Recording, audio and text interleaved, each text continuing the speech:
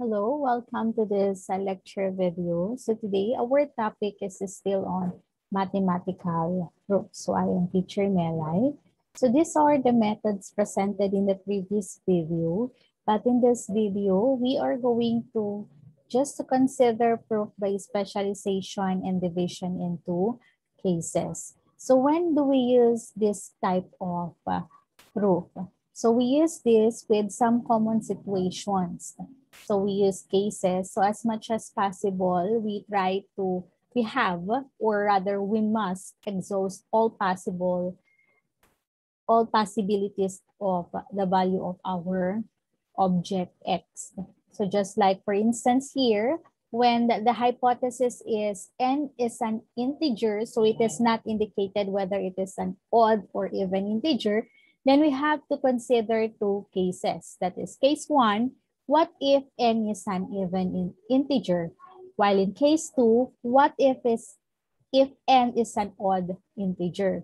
Similarly, when we have when the hypothesis is m and n or integers, again, it is not indicated here whether it is an odd or even, then we have still to consider two cases that m and n are even or m is even and n is odd of course, we uh, the, we don't end there because of we still have other more possible cases like what if m is odd, n is even, and m and n are both odd.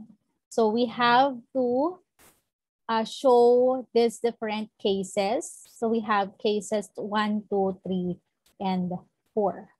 So when the, the hypothesis is x is a real number, so it is not indicated here that either it is irrational or irrational real number, then you again still to consider two cases. Like for case one, we have x is irrational and case two, x is irrational. While if uh, um, the hypothesis is x is a real number, we can also say that what if x is equal to 0, x is not equal to 0, or case 1 is what if x is greater than 0, x is equal to 0, or x is less than 0. Actually, for case 2, where it is x is not equal to 0, you still need to show what if it is greater than 0 or less than 0. So we have actually uh, either two cases, but you still need to show it in x is not equal to 0, or you can just split it into three, case 1, 2, and 3. So when the hypothesis is A and B are real numbers, so similar with the previous hypothesis, we again need to consider what if A is equal to B or A is not equal to B. If it is not equal to B, it can be that A is greater than B or A is less than B.